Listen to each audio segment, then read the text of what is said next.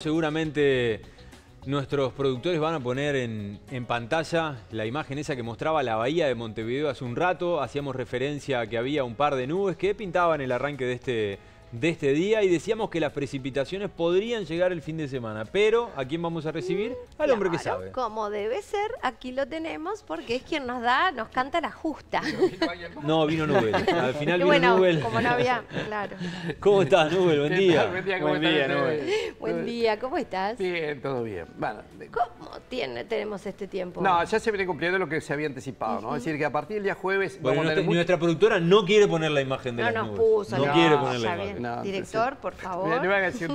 Este, va- como veíamos, la nubosidad comienza a aumentar, esto como consecuencia que ya venimos con varios días de viento sector norte, tuvimos con días prácticamente despejados, no había mucha humedad. A partir de hoy la humedad es bastante más importante, ustedes habrán notado que la... Mira cómo está, sí, ahora sí le puse la...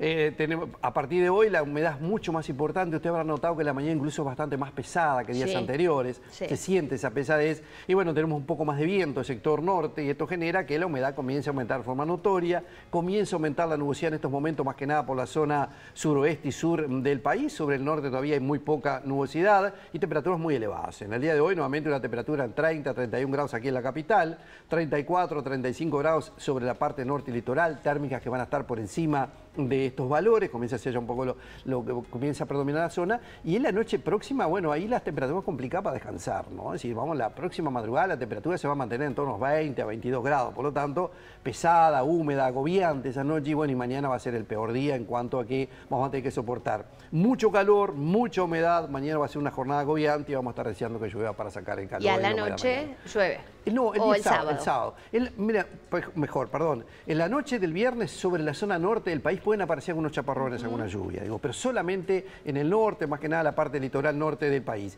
Y la lluvia generalizada a partir del sábado, comienza por la zona suroeste y litoral y luego se van a estar extendiendo al resto del país. Aquellos que tengan alguna actividad la noche del sábado, acaso la zona sur y oeste del país, diría que no hay mucho inconveniente porque va a mejorar a esa hora. Lo que vamos a notar es un cambio de masa de aire, es decir, vamos a dejar este calor para pasar a tener unas jornadas templadas, temperaturas que van a estar cercanas a los 18, 20 grados. Se siente... ¿Qué está pasando ahora, Nubel? Eh, Parece que el verano se adelantó, que, que está ansioso Sí, y que la temperatura es más veraniega que de primavera. ¿o- Y o no, y se va a adelantar. ¿Se acuerda que lo que venía diciendo? Es decir, que a partir de noviembre las cosas cambiaban. Es decir, hasta Exacto. octubre todavía tenemos algún pulso de aire frío, que es lo que se puede llegar a dar. Y bueno, pero que ya a partir de noviembre, un verano que se adelanta, temperaturas que comienzan a ascender rápidamente, mucho calor, tenemos muchas horas de sol, es muy complicado para la parte ag- agrícola. ¿Por qué? Bueno, porque el secamiento es notorio, a pesar de que hay lluvias, se evapora muy rápidamente la humedad que se genera, debido a que tenemos mucho calor, tenemos viento sector noreste por lo general, que es lo predominante en esta época del año, y bueno, ayuda a que el secamiento sea cada vez más notorio. Y esto puede estar complicando lo que hablábamos más temprano de la aparición de dengue, de mosquitos. Sí, va a complicar. Sí, sí, vamos a tener calor, por momento algún episodio de lluvia, la humedad que comienza a ser un poco más frecuente. Bueno, y sabemos que con calor y un poquito de humedad, Pululan caldo de mosquitos. cultivo para los mosquitos, ¿no? Así que hay que tener, hay que empezar a tomar las precauciones, hay que empezar a usar repelentes, porque indudablemente le- eh, se complica, ¿no? Y se va a complicar y se adelanta esta complicación, porque por lo general, viste que siempre estábamos, digo, finales de noviembre, principio de diciembre, ahí cuando comenzaba a ser un poco más importante, pero ahora ya podemos decir que la situación se complica y con esta lluvia, por ejemplo, que se espera en el sábado, donde no bajan las temperaturas, Claro. Te- tenemos que descacharrar. ¿Cómo es que se dice? Descachir. Creo que sí. Descacharrar es aquello No sé, de, sacar del agua. Descacharrizar.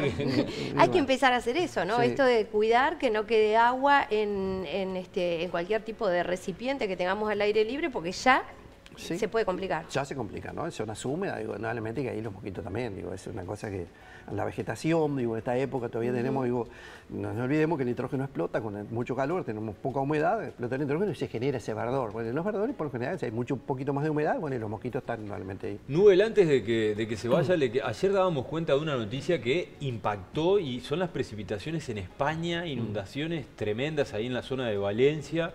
Eh, bueno, muchos muertos como consecuencia de esto que algunos dicen no se esperaba. ¿Qué, qué- qué pasó exactamente? Bueno, ahí? es Pues una- llo- llovió en un corto periodo de tiempo lo que llovía, lo que debería haber llovido en un mes.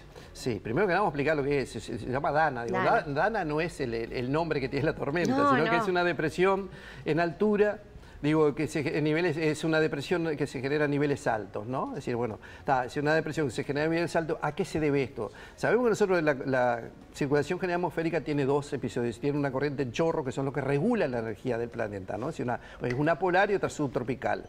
¿Qué es lo que ocurrió? Es decir, que cada tanto se desprende de esa corriente, que hace una, es circular, se desprende como, digamos, como que se desprendiera un globo, se escapa un globo de, de, esa corriente de chorro y esa es la famosa gota fría, que por lo que ocurre también en nuestras latitudes, y bueno, y que ahí se llama, tiene ese nombre, Dana, ¿no? Es decir, bueno, y es lo que genera es un área de bajas presiones. Hay bajas presiones en ese, en, ese, en ese globo que se desprende. Y por lo general, zonas de bajas presiones, al igual que nuestras, que nuestras latitudes, están asociadas a condiciones de mal tiempo.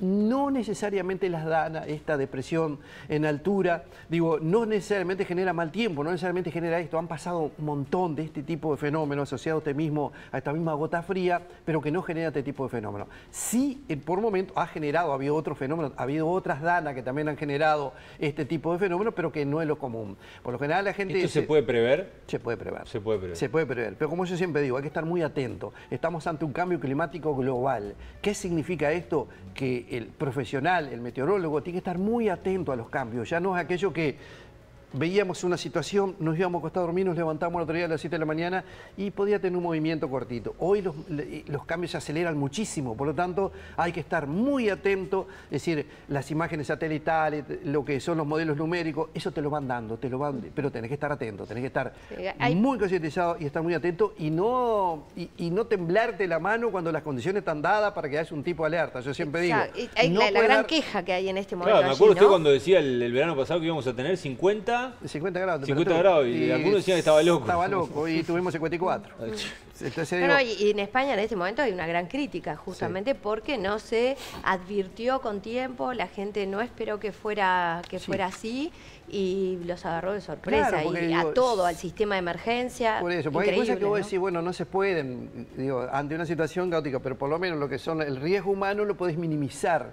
Digo, sabemos que hay, hay, hay, cosas que no se pueden minimizar. Yo qué sé, si, si viene una cantidad de agua de ese y se destruye infraestructura, bueno, es complicado si no estás preparado para mm. eso. Pero lo que es el riesgo humano, sí, porque claro. vos decís, bueno, mire, hay tal situación, no evacuemos, no salgamos de acá, no nos vamos, no anden en la calle, no es. suspendan colegios, no sé, suspendan actividades. Eso sí lo puedes claro, hacer. agarró a la gente arriba del sí. auto haciendo sus De hecho, la, sí, sí, la, la, Cancillería del Uruguay ya emitió ayer un comunicado mm. expresando bueno, su, su, profundo pesar, más allá de que afortunadamente no hay víctimas uruguayas. No, uruguayas no hasta hay. el momento. Claro, exactamente, como te decía, hasta el momento. Digo, no te olvides que esto es una situación muy complicada. Hay mucha gente que está desaparecida. Digo, la, el número de víctimas fatales es Más muy de alto. 90 digo, en este 95, momento y todo lo que va a aparecer. En nube no se vaya sin decirnos domingo y lunes cómo venimos. Bueno, el domingo libre de lluvias. El domingo una jornada agradable. Va a bajar un poquito la temperatura, pero no hay lluvias, hay sol el domingo. Eh, como les decía, recuerden que a partir ya de la tarde del sábado comienza a mejorar, desciende un poco la temperatura. El domingo no hay lluvia, el lunes sí, nuevamente tengo un episodio de lluvia. El lunes a la tarde, lluvias y tormentas que van a estar afectando nuevamente prácticamente todo el país. Nube hasta la semana que viene. Bueno, que tengan un muy buen fin de semana y que lo disfruten a pesar de esta lluvia, que también es buena la lluvia. Muy bien.